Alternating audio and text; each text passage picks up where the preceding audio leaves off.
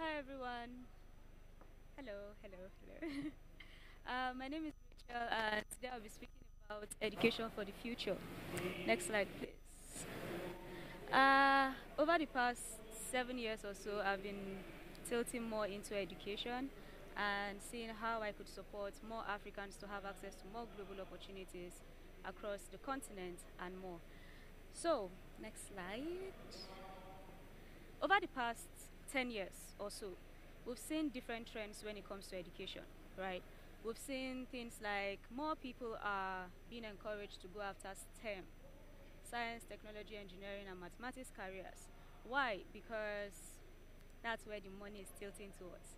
If you are not an Indian and your parents have been asking you to study, be a doctor, and all of that in the past, now in Africa, a lot of our parents are encouraging us to go after more STEM educational paths. Then we also saw the rise of Montessori, specifically in the aspect of schools, right? Children in K 12 educational paths, they are being encouraged more to learn by doing, learn by actively, learn by actively practicing, right? How can we drive the creativeness of each kid beyond what they are being taught in classroom, increasing from their contact hours in class to having more time to do outside the classroom. Then COVID happened and things shook up. Right. Next slide. With COVID, it brought a high rise in having more MOOC courses, which are massive open online courses. A lot of people are tilting more towards online courses and working with their peers to actively learn more, peer reviews, peer mentorship, personalized learning, and with that came a very high dropout rate. Why? Because everybody is feeling, do I really have to be in the classroom? Which is what is driving the need for alternative education. Next slide, please. Why alternative education and why Africa? Every year in Nigeria alone, 1.3 million people write JAMB every year to get into higher institution. And then at the end of their four to five years of study, over 600 people graduate from school without the necessary skills to get into the market and do work, right? Personally, I went through a system in the Nigerian educational system and I was like, uh, you know what, this can't be it. I have to be part of the change that drives a bit of how can we do better? How can we empower the next generation to have access to the quality skills they need to move to where they need to be. And interestingly, in the US, the average age is 38 years old. In Canada, it's about 41 to 47 years old. While in Africa, the average age of any of the youth population is 19 years, which means we're literally the future of work. And empowering us to have the right skill is super important because if we don't have the right skill, it means the workplace of the future is going to be in shambles, right? Which is why alternative education is important, which is why every single person in this room is actively working towards learning the right skills they need to do something better, to be able to drive change, to be able to build solutions, to be able to solve problems, right? Which is why alternative education is important. I had to literally tap into alternative education in my first after my first year, in my second year in school i was like okay this my curriculum is not going to get me to where i need to get to which means i needed to start learning more. I needed to start actively empowering myself right? Which is why a lot of edtech platforms are tilting towards how can we empower people beyond what they are being taught in the classroom today beyond what the educational system is providing them today. Next slide please. Now the future of education is it open or is it a closed system? Now, one of the reasons why we need to tilt towards an open educational system is because how can we use the principles of open source and then combine it with the current principles of education? Our curriculums need to be released early and often. I, just like I shared, when I was in school, I studied computer science and I was taught Fortran, COBOL, QBasic, and I'm sure you guys know that no one is using that programming language today, which means that I wasn't ready for the future, right? But our curriculums need to be updated. We need to have curriculums that are moving beyond the today's uh, 50 years to 100 years old curriculums.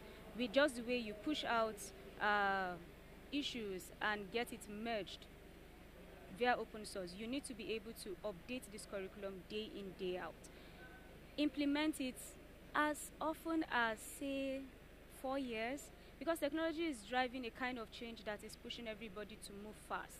So if the if technology is dynamic, then our curriculums need to be dynamic. We can't stay behind. Also, we need to tilt towards more of uh, experiential learning, that is learning by doing. How can we work with individuals to have let me use this example. How can we tilt individuals to experience what they are learning, right? Say I want to, today, okay, today this is my class, and today I would like to teach you about the digestive system. Now, the digestive system today, uh, you eat food and then it goes through your throat, it goes through your small intestine, your large intestine, and then it comes out as feces at the end of the day, right? Uh, or, hi everyone, today I would like to teach you about the digestive system. And here's a picture of the digestive system. You get to see the food goes through your mouth, goes through your throat, and then it comes down.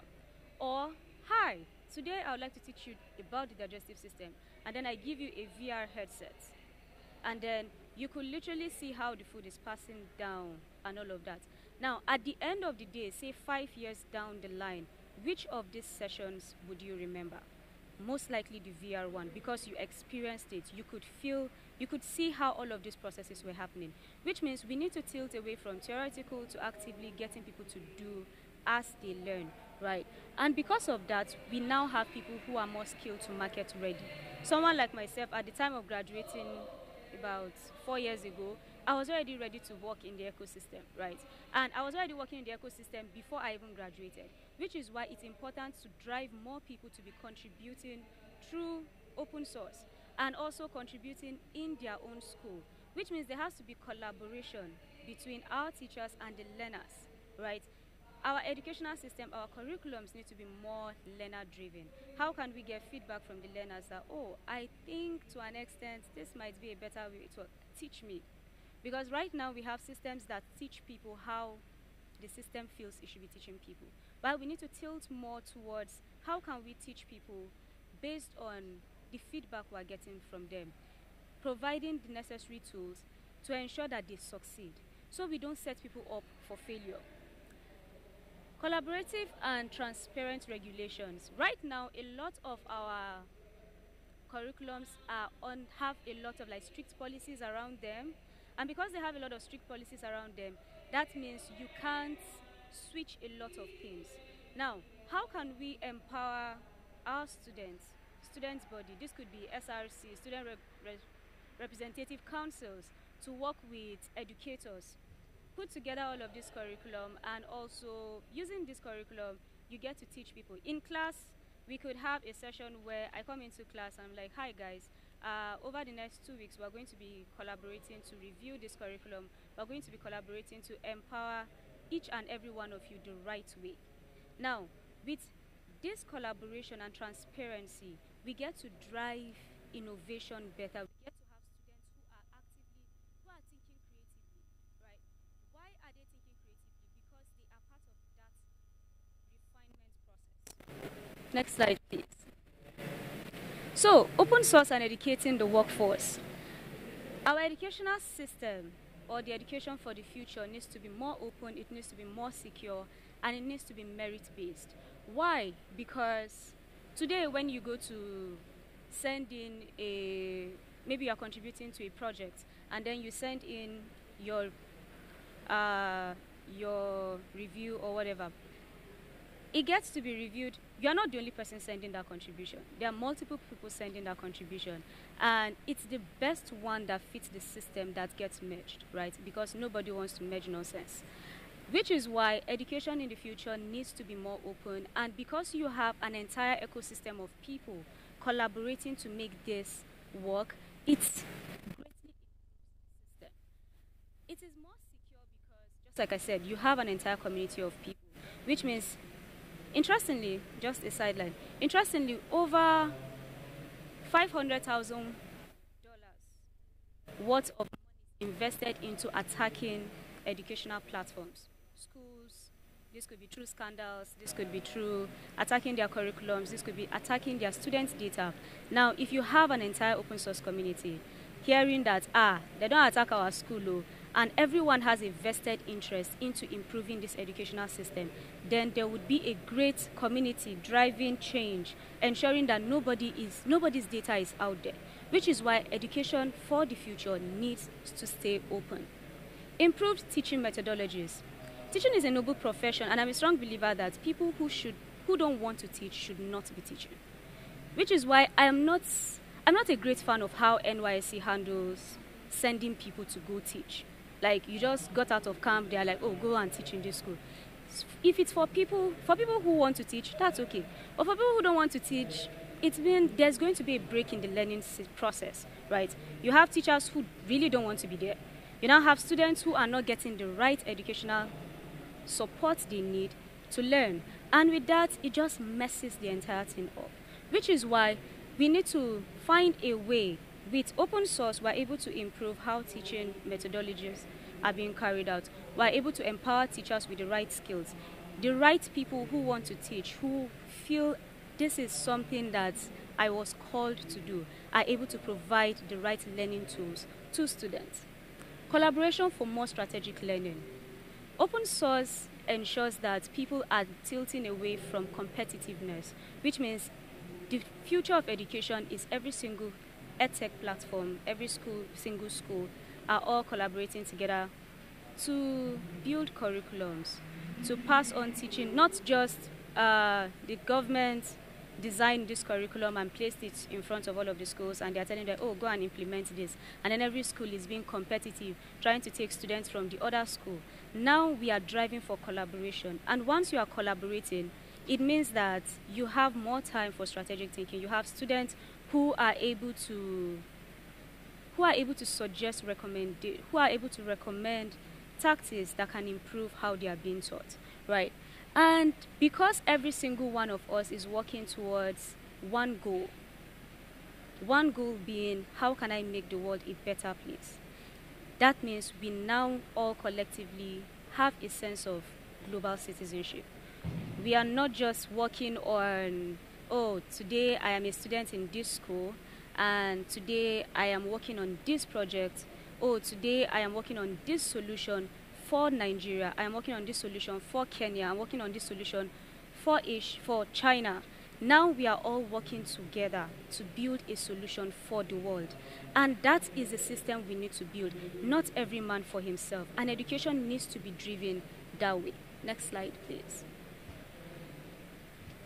So, if education needs to be driven that way, we need people who will drive it, right? Which is why we have more contributors, software engineers, product managers, program managers collaborating to open source projects. And all of that data gets into the middle of the system where VR, AR, AI, and robots are actively taking all of this data and then pushing it on the other end. And pushing it to the other end because you have sufficient data that are highly, that are being, uh, what's the word? That are being processed by AI and robots. They now can build systems at scale that can drive bioengineering.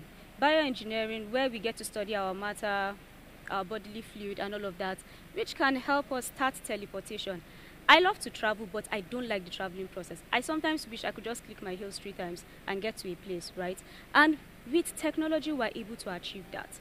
Then from there, we get to kind of like expand beyond what today's physics is, go deeper into quantum physics.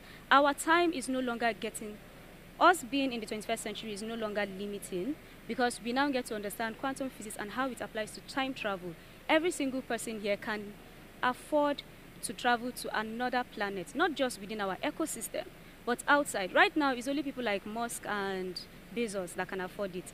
I want to travel around the world. And how we empower educators of today to empower the knowledge that is being put out there is going to greatly impact the kind of solutions we're building that can even expedite our growth as a planet. Next slide, please. Our goal at Alt School Yeah, I work at Alt School, so allow me to talk about Alt School for a bit. Our goal at Alt School by 2030 is to empower 10 million students, right, uh, through all of our programs. Now, how do we want to do that? By ensuring that every single African first, African first, because our, how we drive things is building for Africans by Africans, empowering the African community to have the tools they need to to have the tools they need to go out there and change things in the world. Just now, Anedi wrapped up a session around why the A in EMEA is silent. And we want to make that A to be more pronounced. And how do we do that? Is by educating the future. Next slide, please. Our goal, democratizing access to quality education, not just tech education, but every education at Alt School, in, on all levels. Next slide. We have three schools, right? School of Engineering, School of Products, and School of Design. And we have an advanced program that just wrapped up their cohort too. Special shout out to one of my guys here, Jerry, uh, for making that happen. And next slide, please. And our graduates from our first cohort of program are working at several companies such as Andela, Flona, TopTal, Yelp, Octosoft, Sterling Bank, and etc. Next slide, please. What's our mission? like our mission at Alt School and also my mission here today is to encourage you to take your future into your own hands, to go out there, build better solutions, to go out there, challenge how things are being done today, is to go out there, empower the next person sitting next to you. It could be to empower your younger one, it could be to empower another person to be able to build solutions that can take that can change where things are today. Because we have a lot of, we have potential, but how we educate today's people is going to greatly impact what the world is going to be in the next five, ten decades, right? And it starts from us today. It starts from us deciding that we are not going to sit with the redundant curriculum we have today. It starts from us saying that we are going to adapt to a new learning system it starts from us today saying that we are going to we're going to drive a change that is beyond what anyone is able to offer today. And how that happens is every single one of us deciding that we're going to learn and build products that are sustainable. It starts from us deciding that we are not building for ourselves, we're building for our kids. It starts from us building for the next generation. And building for the next generation sometimes entails making compromises, making sacrifices. No community, no generation makes a change without making sacrifices. And this sacrifice today has to be from our end. It means we have to push ourselves, push our limits, push our learning limits. If today we were studying for, say, five hours a day, it means we need to be studying for maybe another extra hour, right? And for us to do that, we have to greatly tap into all of the resources we have. How can we contribute more to open source? How can we build with collaboration in mind and not competition? So, keep learning and keep building sustainably. Next slide, please. Because we understand that building sustainably requires money and build, learning requires money, uh, my team at Alt School and the team at OSCA have collaborated to offer 50% off tuition in all of our programs for anyone who signs up from now till 30th of June. So if you have people who you think might benefit from this, please let them know. This is 50% off tuition. You still get to pay the application fee, FYI. Uh, thank you so much. Next slide. Thank you. Uh, questions, questions, questions. Yeah, sorry. Do you guys have questions? Any questions, please? Any question? Okay, sure. Can we get the previous slide again? Okay, previous slide, please. Okay. Okay. Previous slide, please.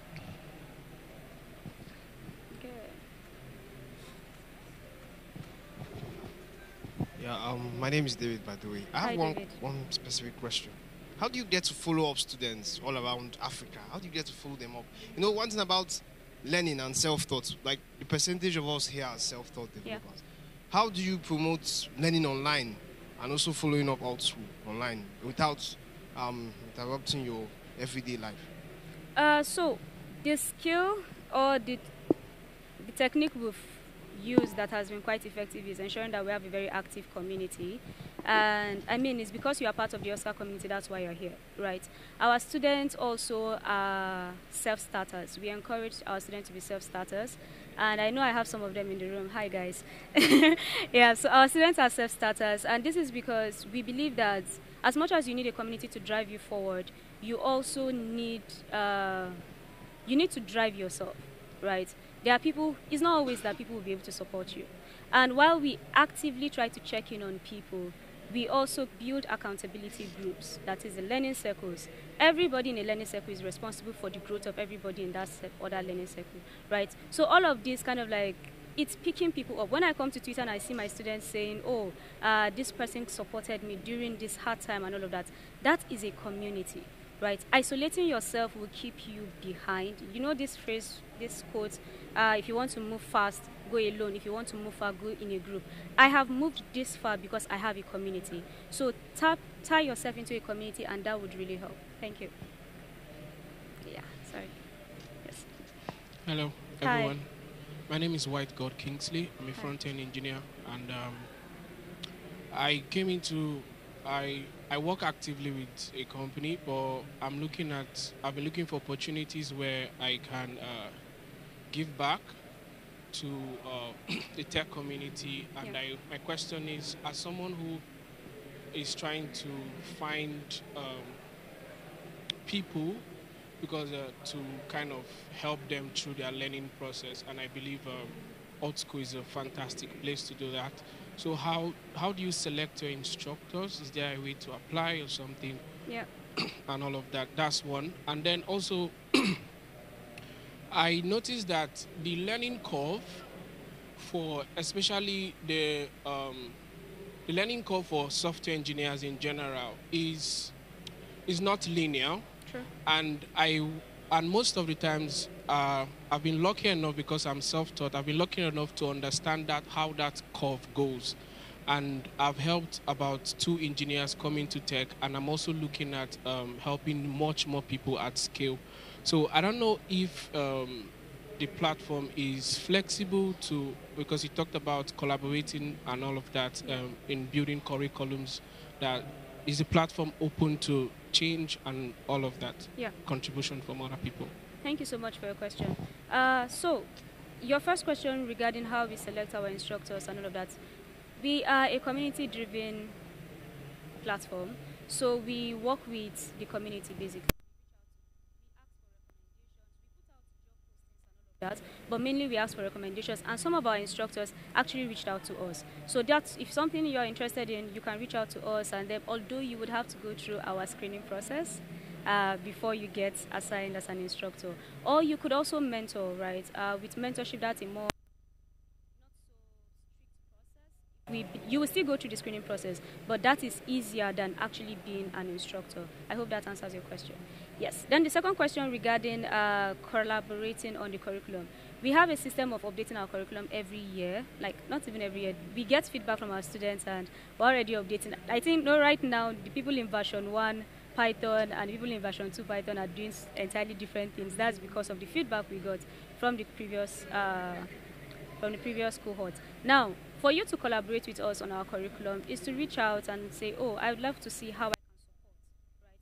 Just like I said, we're community-driven uh, platform, which means we get support from different people. It still goes through like a main process because we don't want, just like I said, uh, everybody thinks they know something, but to an extent, there has to be that that system of transparency and also meritocracy, right? So if you're able to provide recommendations, we get that, we check based on the next five to ten years, is this recommendation going to be valuable or not? Is it if it's going to be valuable, we combine it to our curriculum. Thank you. So we'll take one last question. All right. Um, thank you. okay, you. two. Okay, yes. Okay. So my question is around like, you know, you talked about like building like a global community, Yeah. right? And I feel like it is best if we can start like, oh sorry, it is best if we can like start like when people are like very very young, right? Yeah. So how do you think like we can put something like this into our educational system, like in Africa generally? Yeah. Thank you so much. So that's an excellent question because uh, for us to be able to make a lasting change, a sustainable change, it means that we need to go back, right? And going back being that we would have included in our current curriculum in from is it basic no from primary school, right? Add all of the whatever needs to be added to that curriculum to make it more effective. Uh, how do we do that? It's working with the government. There needs to be active public-private partnerships, right? Collaborating with them to understand that, see, the startup ecosystem alone has shown you that we've moved past whatever it is is being taught in class. Work with NITDA, work with uh, NCC, work with them to work on like i know the startup act has a part in it that allows for change when it's going to be implemented i'm not sure but if we can drive that conversation this is a conversation that we can even drive online the good thing is right now i've seen that sometimes the government is taking some form of advice online so if we can drive this conversation on twitter on instagram or whatever talking about our curriculum needs to be updated if we go as a mass and then drive this conversation, it should push the government to say, okay, set up a committee and let's improve the curriculum. But yes, I agree that if we are going to have a lasting change, we need to start from the curriculum way back so that at the time people are getting to secondary school to university, they have sufficient knowledge to get them even further. Like some of us are here, you might have been done with higher institution and that is when you are learning this skill. Assuming you learned it in, say, secondary school or in university, I'm sure you would have gone so much further. Thank you. Yeah. Good morning, everyone. I'm Hi. Khalid. I'm a Hi, community Khalid. manager and also an embedded system engineer. And um, currently, I'm working with my school. I'm trying to draft out a curriculum for engineering students and Yeah. how they can fit into the new startup world. There's a collaboration. Um, my question is, um, how do you, like, as a teacher, or as a teacher or a lecturer or in the academic uh, field, how do you contribute to open source? Yeah, that's just it. Okay. As an educator, how do you contribute to open source? Uh, so, beyond, you don't have to be a software engineer. I'm sure all of these sessions today has been telling you you don't have to be a software engineer to contribute to open source. There are a lot of projects out there that are on GitHub or even collaborating with people within the open source community. You might not know about them, but talking to people like, say, Ruth Ikegah, people like uh, Samson, mainly the people who lead the OSCA community, they're able to direct you to communities or projects that are effective for you to contribute to. Right? How do you collaborate? Is by collaborating as a program manager, not necessarily as a software engineer or a designer. So if you're collaborating as a program manager, you have access to uh, projects that you can contribute to. Thank you. Uh, so thank you. Okay. Sorry, David again here. Hi, um, David. one more specific question. I, Okay. I teach with sabiteach.com. I Yeah. teach programming in C++ to students they give Yeah. me to teach. That is one thing I, I had an issue finding a job. I had an issue finding a job. I met my engineering friend. He told me that, David, do you have a certification? Like, I noticed that we don't have a general certification that proves that we are all developers. Yeah. Lawyers have. I think accountants have. Engineers have. They go to engineering school. Even doctors have. So, uh, does Alt School give us the opportunity to have this certified developer from Alt School that makes us stand out? Like, I people that did ICAN, people that went to bar, that went to law school and co. Thank you so much for that question. So yes, a lot of ICAN, uh, is it ICCA? There's a lot of them. Uh, sorry. Yeah, ACCN, right? Yeah. So a lot of these industries have their own specific certification, and it would be it be awesome for us to have some. Um, I do know that there's the Google Developer Expert, there's the Google Cloud Professional, there's the AWS Certified. There are all of those things. In Alt School, we offer a diploma, right? And this diploma kind of like certifies you that you have skill in software engineering, in product management, product design. We are working towards building a more standard and kind of like central certification program, and with that, we're able to kind of like support software engineers who need that proof of concept, basically. Thank you. Okay. Thank you so much, everyone. Uh, really appreciate your time.